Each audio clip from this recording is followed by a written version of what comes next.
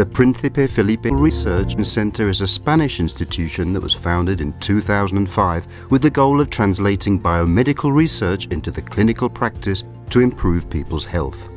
This ambitious aim requires numerous challenges to be overcome, with those related to computational genomics being the most demanding.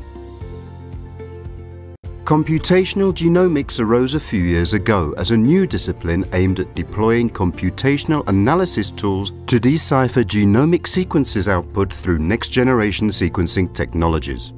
These technologies, while increasing accuracy, reduce both the time and cost of DNA sequencing and have shifted the bulk of the workload downstream from the laboratory to the data analysis processes.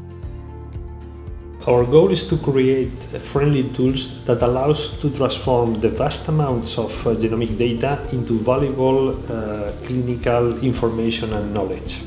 Computational genomics relies on the availability of high-performance computing systems with high-speed storage capabilities, agile communication networks, and security solutions.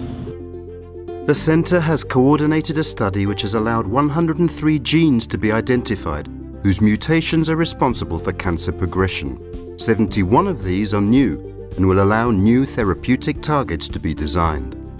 And moreover, the genomic viewer developed by the department has been adopted as a standard by the International Cancer Genomic Consortium. The computational tools developed in our group are currently being used for more than 600 laboratories, research groups, and hospitals. One example is the National IT4 Innovation Supercomputing Center located in Ostrava, Czech Republic. This center delivers genomics analysis services thanks to a solution designed by this department and implemented jointly by the Príncipe Felipe Research Center and Atos. Scientific and technological excellence comes together at the Príncipe Felipe Research Center to further the advancement in precision medicine. This allows computational genomics to become the future today.